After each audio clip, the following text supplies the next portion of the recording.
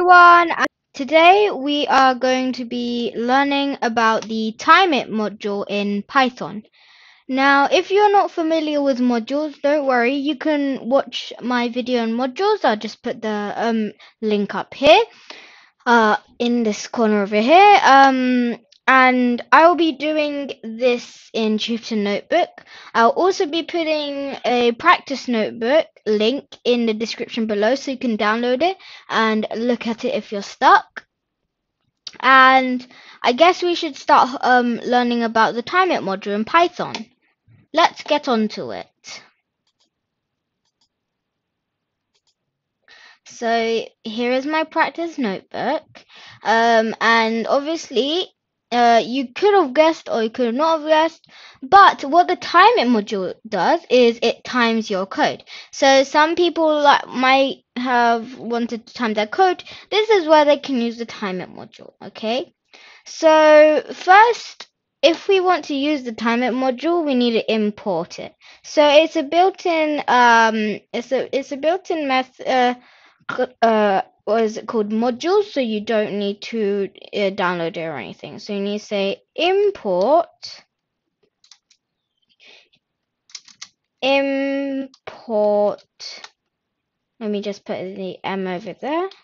Import and we want to import timeit okay? So this is all lowercase okay? So no capitals so once we have done that, we should actually start learning. But before that, I want to uh, get your minds ready before we actually start. Otherwise, we won't have anything to work on.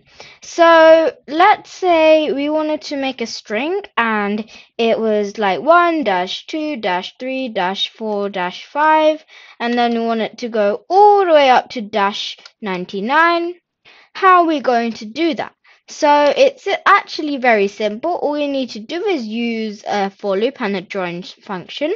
So I'm going to put in dash dot join. So we want to join um, we want to join some things with this dash. So first we want to convert our some numbers to a string so we can actually join them together because you can't join numbers together, you can only join strings together. So we're going to say string n, that's our number, for n in range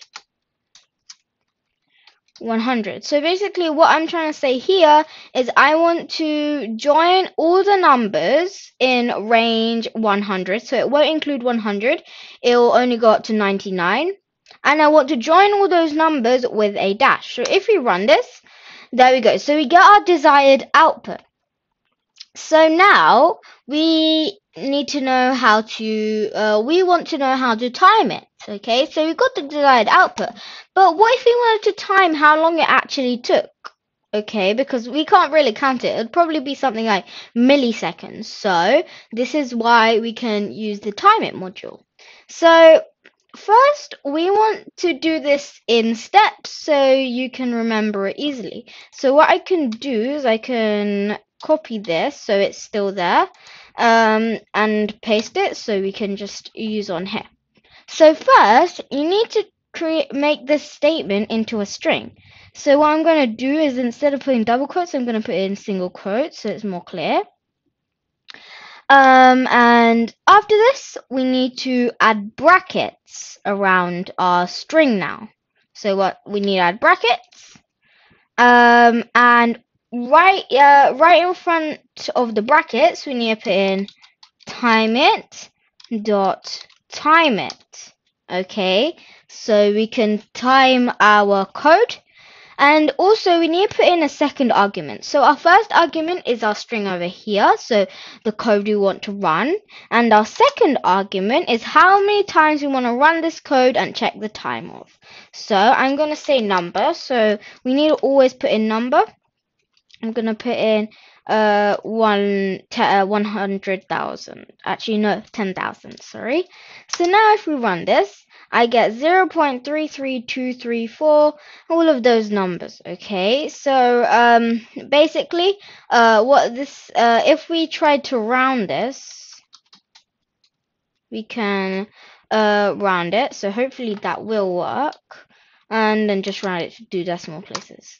So we get 0.33. So um, that's not really the speed of my computer, but sometimes it goes slow, sometimes it goes faster. So basically right now it's 0.33 uh, to two decimal places, okay? So it's easier if we round it, otherwise it'll be a bit too long because the floats are actually really long.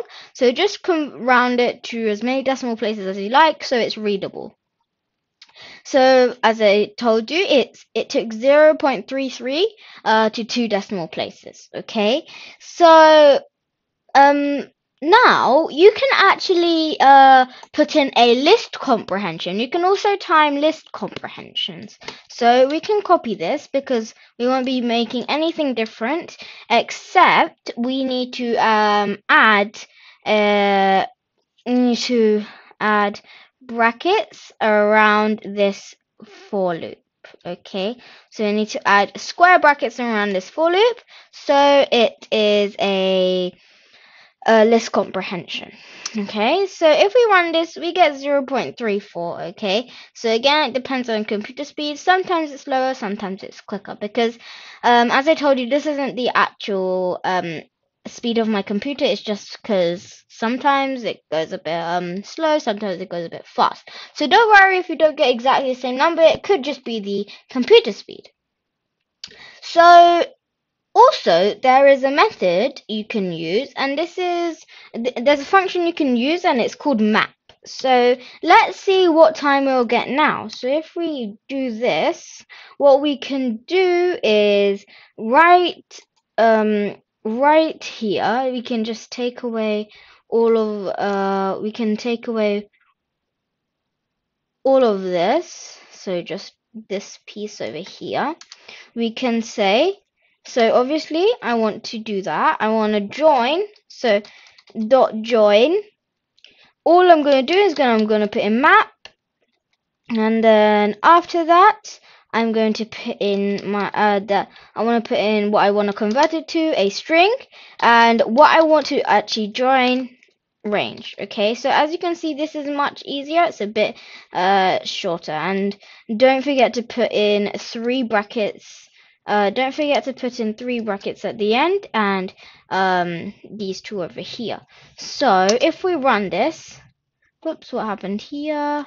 Well okay we need to put in uh, what we do, what do we need to do? We need to, uh, let me just uh, check this. So I could have gotten confused somewhat. Okay, so what we did here um, is we need to add a single quote over there. So if we just add single, okay, so now if we run this, we get 0.28. So notice how it's um, much more, uh, it's got much more lower time. That is because the map function actually makes it more, more quicker and efficient, so it gives you a lower time. Okay, so sometimes this may not, uh, the if you write code like this, it may not be compatible with Jupyter Notebook, even if it's compatible with other IDLEs. So here is where we can use magic methods. Now, uh, magic methods only um, magic methods come with IPython, and you can only use IPython in Jupyter Notebook. So that's why they're called um, they are you can only use them in Jupyter Notebook. Okay, so Thankfully, IPython has already does already have a time magic method, so it won't be too hard. So what we can do is we can take this. So what we can do before we actually take that, actually, we can put a percentage sign and then timeit. So what does this mean? So let me just put that in lowercase, timeit. So what does this mean? Basically, what I'm trying to say here is I'm going to say I'm trying to say I want to use the timeit magic method. I want to put a space. Uh, I can copy this uh, and paste that. Okay. So basically, what this time magic method is going to do is it is going to run this code. Um, it is going to run this code a certain number of times. So if we run this, uh, it should come eventually. Um, so depending on your computer speed, basically, it, it should come eventually. Um, and it's as you can see, this is quite hard to read. Um, so what I'm going to do is I'm going to break it down for you. So what it did here, it took 1.68 milliseconds per loop. Okay, so this is what this bit means. And here, um, this over here, it is saying that our computer run this statement seven times and e uh, every time it run it it made it this uh, looped 10,000 times okay? So pretty lot. So I don't know why but my computer's a bit slow today but it doesn't matter. It just uh, so you know um what our timer method does. So basically um it is telling me that it ran seven times uh, each time it ran, it uh, executed this for loop over here. So this uh, for loop over here, um, one 10,000 times, okay? And it took 1.68 milliseconds per loop, okay? So that's decent. It's not too bad. But you can also do this with list comprehensions as well. So this is how you can uh, this is how you can do it. So again, you need to put in timeit because this uh, we're trying to use a timeit magic method. Um, and also we can uh, put, use this over here. So what we can do, uh, we can use this list comprehension over here. And then put it over here. So make sure you take away the um the strings. So you make sure you take away the single quotes otherwise it won't work. And now if we run this it should uh, come up any second now. It says it took a, it took 2.63 per loop. So that is actually pretty slow uh, and here it says it, it, it says the same as before. Uh, we can also do this with map it with the map function. So what we can do again is we can say timeit, and then we can copy this without the without the single quotations. Okay. If we do that and run it, we should get see. So this time it took uh, quite a long time. Again, that is depending on computer speed. Okay, so sometimes it comes slow, sometimes it comes fast, but here it says 28. So actually, you may be thinking it came a bit uh, slow, but actually it came quite fast. Okay, so this actually took the longest of all. This took shorter and shorter. Okay, so basically it depends on this okay? So don't it shouldn't really matter about this just look at this and then you'll know that it's running quicker or longer than the one before. So if um, these are basically uh, all you need to know on uh, timeit. There are other methods uh, for the time module as well. So what you can do is you can go to your browser and you can search up um, timeit module in Python. And basically, um, as you can see here, uh, it says timeit Python. So what I'm going to do is I'm going to click that and I get the official documentation. So I'd actually um, uh, recommend using the official documentation because it's more clearer and it doesn't have any um la- uh, it doesn't uh, all of it is the truth so it's all truth truthful okay? So you don't need to worry about if it's wrong or not. So here we um have uh basically all we have all the things you can do with timeit. So you could say timeit dot timeit, which we used before. We can say timeit dot repeat. Uh, we can say timeit dot default timer. Uh, and then class time it and dot timer. Okay, so you can look at those if you like. but you can also go to command line interface. Um, there are some examples here of that. Um, and this is actually very short documentation, but either way, it's actually really, really helpful. So here we could actually use this uh, over here, but um, I I don't want to show you in uh, in case you guys don't understand. So I would recommend reading all of this. Um, and I hope you uh, know all the basics of timeit. And remember, there is a notebook um, on the timeit module. I'll just uh, bring it up over here. So here, there's just this notebook I made for you guys. Uh, on the timeit module, it's just got a few more explanations. It's much more clearer. Okay, so it's just got a few more explanations, and here where we uh, convert, um, actually timed it, we have some code over here in steps.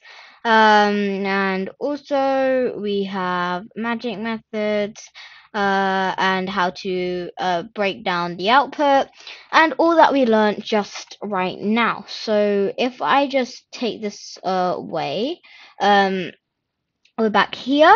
So um, as you uh, as you have seen, we did a little bit of code, but that is all you need to actually know. So this is actually the main part you need to know about timeit.